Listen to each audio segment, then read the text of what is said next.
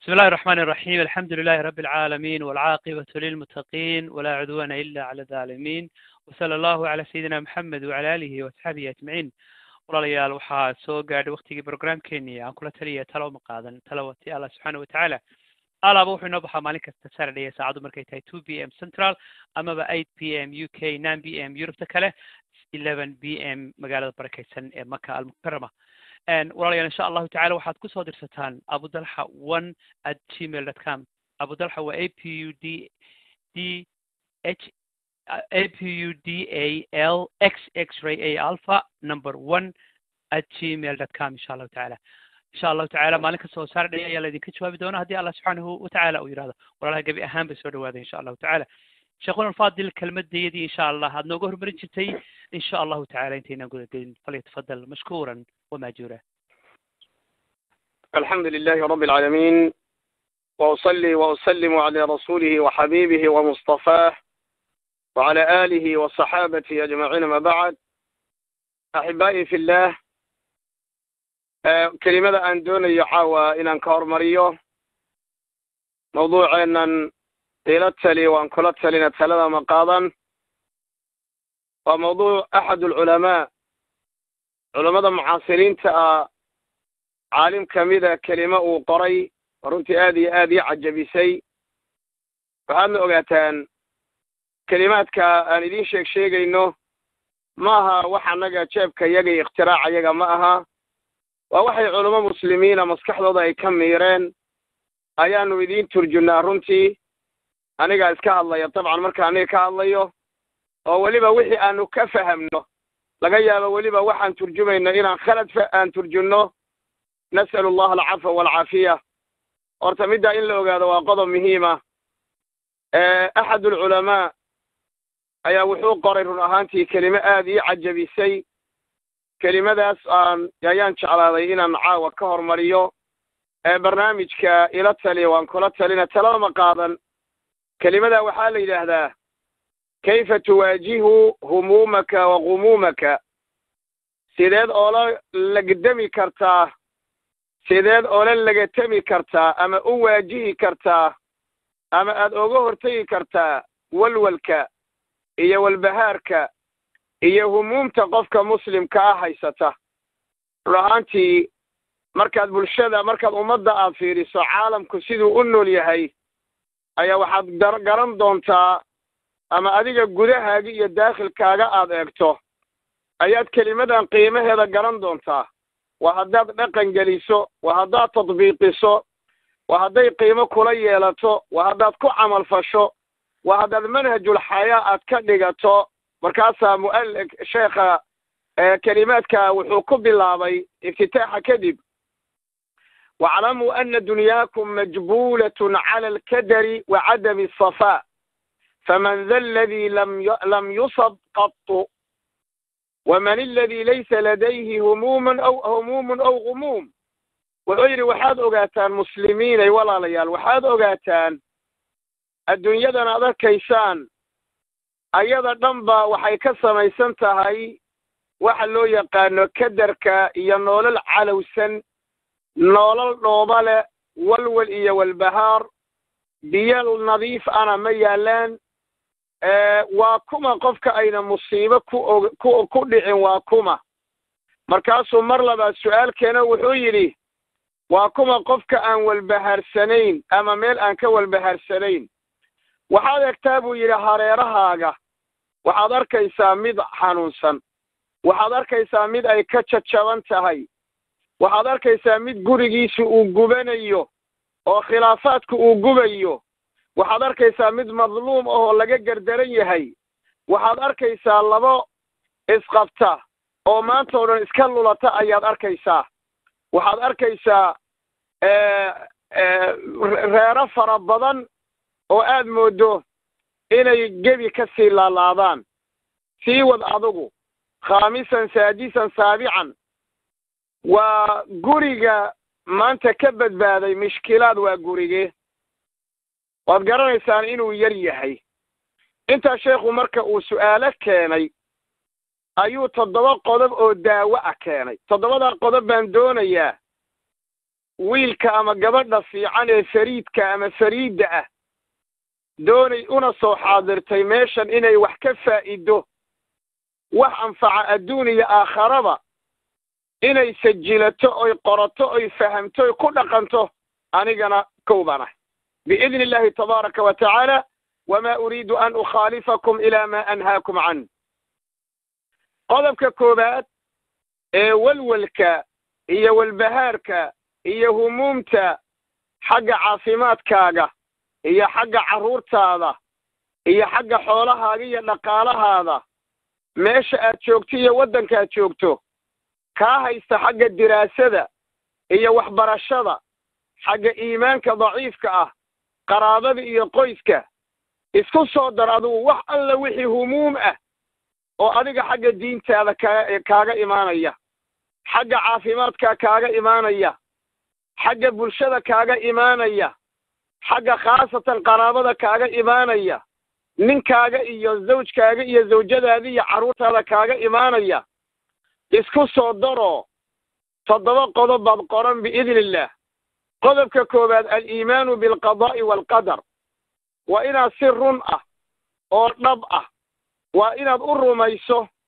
ilaahay qadihiisa iyo wuxuu xukumay tabaaraka jalla wacalaa qofka muuminka ana sida laga doonayo waa nooca waana qodob ka mida arkaanuuliimaan wa an tu'mina bilqadari khayrihi wa sharrihi keliya waxaad ogaataa adduunkan waxa ka dhacayo oo dhan ilaahay waa og yahay ilaahay asagaana doonay tabaaraka wa tacaala wanaagga iyo khayrka oo dhanna asagaa doonay.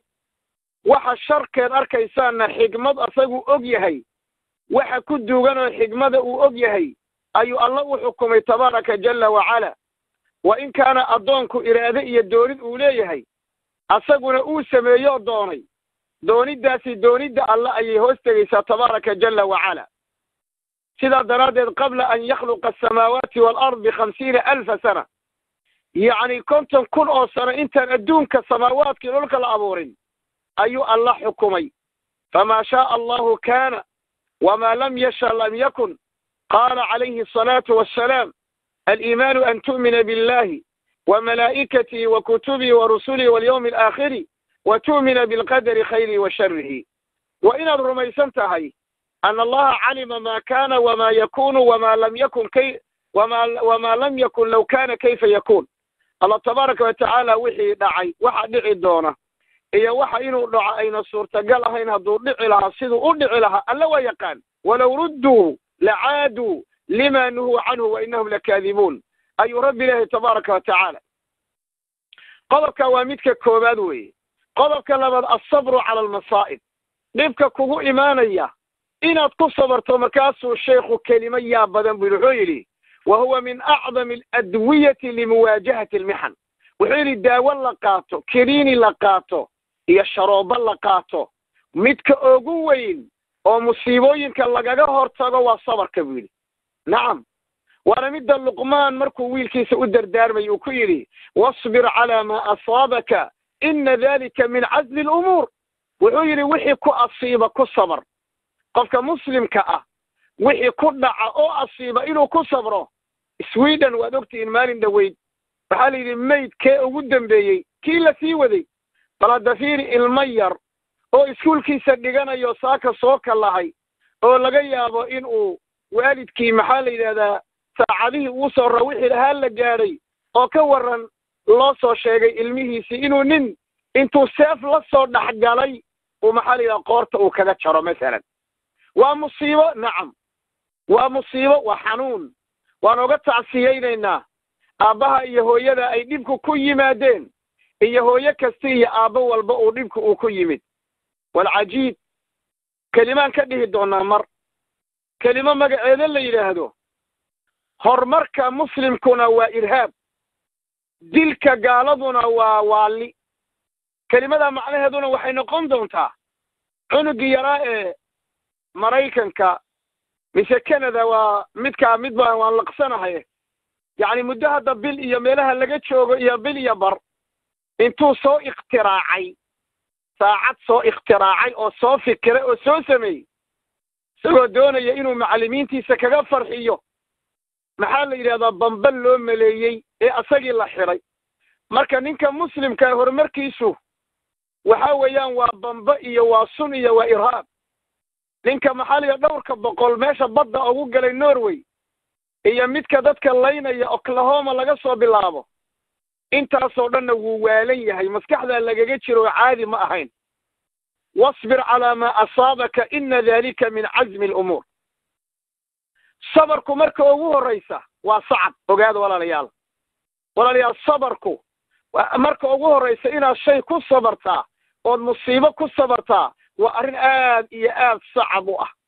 Walaakin idaa cawadta nafsaka calayhi haana wasahul haddaad naftaada ooga dhigto oo dhaqan ooga dhigto inaad naftaada musiibada ku imaanaysa aad ku sabarto ood musiibadaa ku sabarto ay kuu fudaan shaacir baa wuxuu yidhi alsabru mithlu ismihi murun murun madaaqatuhu laakiin cawaaqibuhu axlaa min alcasali alsabru mithlu mithlu ismihi murun madaaqatuhu laakiin cawaaqibuhu axlaa min alcasali sabarku wuxuu yidhi sida magiciisaba ka muuqata waa shay aad iyo aad u khadhaadh oo waa dacar buu yidhi laakiin midhaha ka dhalanaya iyo waxaa laga faa'iidayaa malabka waa ka macaan yahay suhayb ibnu sinaan radia allahu tacaala canhu wuxuu leeyahay qaala qaala rasuula sal slam cajaban lilamri lmu'min liamri lmu'min cajaban liamri lmu'min ina amrahu kulahu lahu khayr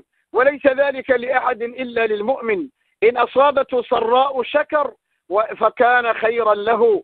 Wain asaabathu daraa sabr fakana khayra lahu. Rawaahu muslim. Qofka mu'minka ahaan la yaabay arrinkiisa oo dhan waa khayr arrinkaasna lama ima lagama helo sifada ilaa qof mu'mina ma ahane. Haddii qofka mu'minka ihi ay ku timaado wax farax geliya rabbi buu u celinayaa shukriga iyo mahadda. Waa arrinkaana waa khayr. Hadday ku timaado wax dhib u keenana waa ku sabrayaa arrinkaana waa khayr. Kaana waa qodobka labaad. Qofka doonaya humuumtiisa iyo welwelkiisa iyo welbahaarkiisa inuu ka ka adkaado waxa weeyaan labadaa qodobeen soo marnay meel ha ku qorto oo ha ku dhaqmo ha ku camal falo. Qodobka saddexaad annadaru ilaa maa cindaka min nicmatin. Bal waxaad si fiican u eegtaa oo si fiican u fiirisaa il caafimaad qabtana aad ku eegtaa il cawiranna aadan ku eegin bal waxa ilaahay ku siiyey oo nicmo ah. Waxa ilaahay ku siiyey oo khayra.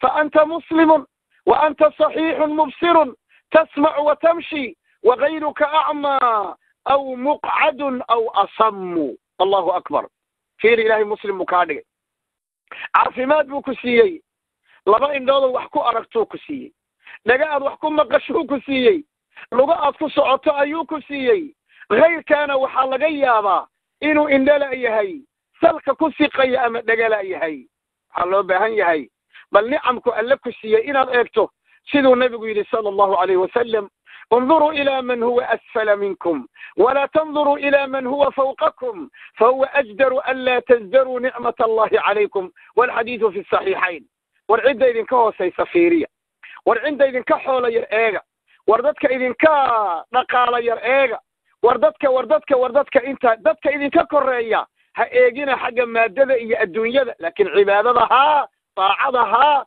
تسابقها وسابقوا وسارعوا fastabiqu alkhayraat taa waa mid kale wey inaad wax cidda idinka hoosaysa aad eegtaan ayaa u dhow oo xaqiiqo u ah yacni inaydan nicmada ilaahay ku kibrin tabaaraka wa tacaala. Walaalkayga muslimka ahow waxaad fiirisaa midigtaada oo waxaad fiirisaa bidixdaada. Waxaad arkaysaa mid la imtixaamay waxaad arkaysaa mid musiibo ku dhacday waxaad arkaysaa guri laga ooyayo o laga dhintay waxaad arkaysaa mid ay ilintu ka daadanayso. Meeqa musiibo ayaad arkaysaa laakiin meeqa ayaa ku sabarta. Falasta anta waxdaka fi lmaydaan cidda imtixaaman keligaa ma aha. Bal musaabuka anta binnisbati ligayrika qaliil. Adiga marka la fiiriyo waxa ku haysta dadka dad badan baa kaa daran. Badanaa mid mariid ah oo xanuunsan oo sariir saaran intaasoo sano oo aan midig iyo bidix midna isu gedin karin yaa allah. Badanaa mid mariida.